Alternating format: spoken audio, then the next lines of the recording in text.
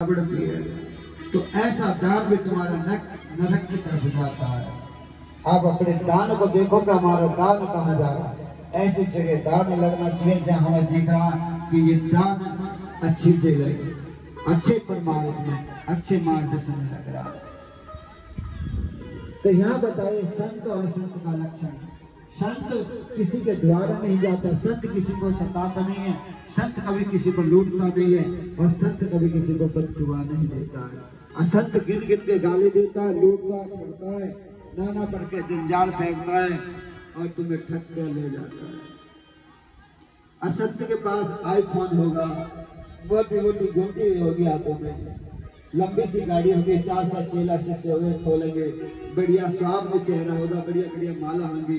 Makeup पे भरा हुआ शरीर?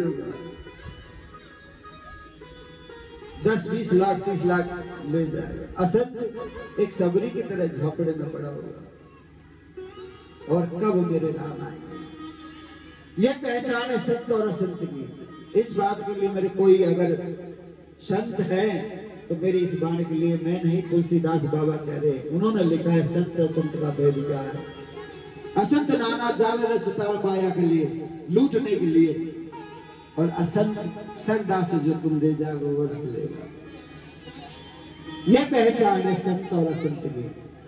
संत अपने कर्म में लगा रहता रात दिन भजन में कीर्तन। उसे फुर्सत नहीं, राम ने एक मिनट छोड़ने की। और जो माया रूपी है, संसार रूपी जो असंत है, वो हर वक्त माया के जंजाल बनते रहते हैं। ये पहचान है संत और असंत की। क्या? कैसे कैसे? बताइए, एक आध तो कोई बताइए संत कैसा होना चाहिए?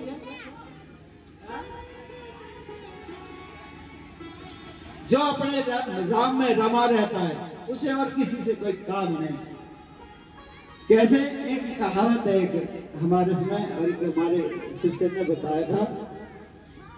कि सत्य कैसा कि कभी मल मल, गल मल मल गल और कभी